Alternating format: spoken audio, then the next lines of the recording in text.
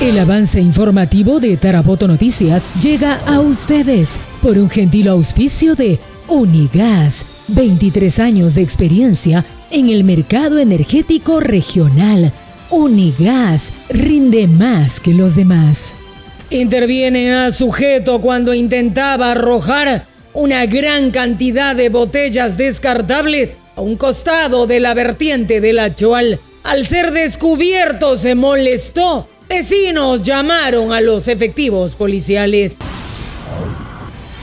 En sesión extraordinaria y con nueve votos en contra, rechazaron pedido de vacancia contra Teddy del Águila, alcalde de la Municipalidad Provincial de San Martín. Maestre dijo que no existen argumentos técnicos y legales de los dos regidores que solicitaron su vacancia, los mismos que estarían apelando dentro de las próximas horas al Jurado Nacional de Elecciones.